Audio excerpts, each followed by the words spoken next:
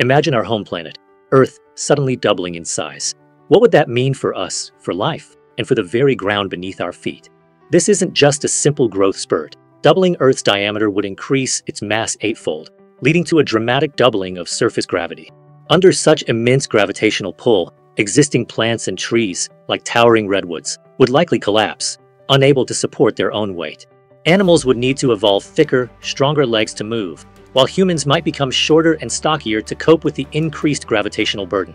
The atmosphere would also undergo drastic changes, becoming much denser due to the stronger gravity, leading to a significant increase in atmospheric pressure.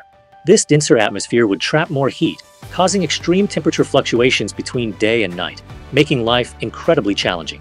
Increased pressure and a greater volume of radioactive elements in the mantle would also lead to heightened volcanic activity. Even with a thicker crust, hundreds of new volcanoes would erupt, pumping vast amounts of CO2 into the atmosphere, creating a runaway greenhouse effect. The increased internal heat and pressure would also profoundly affect plate tectonics, potentially leading to more frequent and intense earthquakes. Beyond these geological and atmospheric shifts, the very rhythm of day and night would change drastically.